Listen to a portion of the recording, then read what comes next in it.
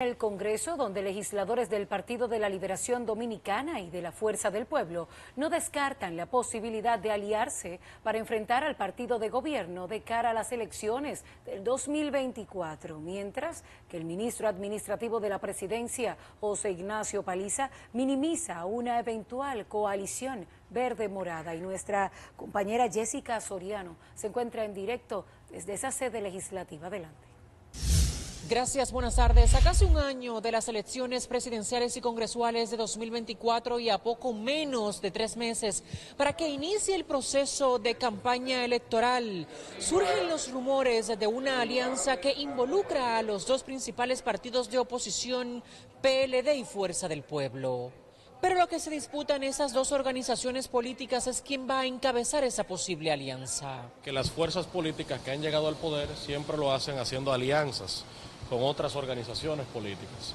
Así sucedió en lo que recordaremos que fue el Frente Patriótico en su momento, Bloque Progresista en su momento, el propio presidente actual también llegó concertando alianzas con otras fuerzas políticas, por lo que eso es muy normal. El PLD es el partido de mayor vocación de concertación.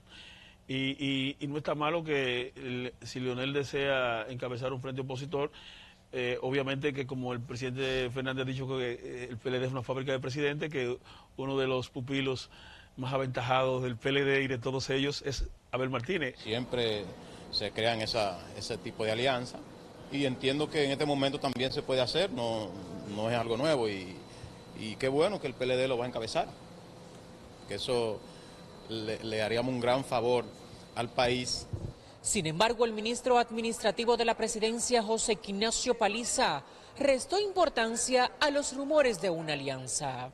La alianza principal debe ser con el pueblo dominicano. Ahí estamos. En las últimas horas se ha rumorado que tanto la Fuerza del Pueblo, el PLD y el PRD están de acuerdo en unirse.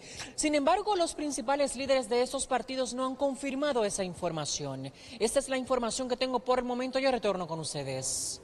Jessica, gracias. Pese a los constantes cuestionamientos a la actuación de los agentes policiales y la vinculación de algunos de ellos en delitos, la reforma de la policía ya ha dado frutos, aseguró este miércoles el presidente Abinader. Indicó que el primer paso de la reforma es la educación de los agentes. Por primera vez en toda la historia universitaria y en toda la historia de la Policía Nacional, un grupo de instituciones de educación superior se unen con un propósito común, educar a nuestros policías. Los policías por primera vez se formarán en espacios dignos y adecuados para lograr una formación integral. Además de la parte técnica, hemos logrado mejorar la infraestructura del Instituto Policial de Educación las declaraciones fueron emitidas durante la firma de un acuerdo entre universidades para apoyar el proceso educativo de la reforma policial.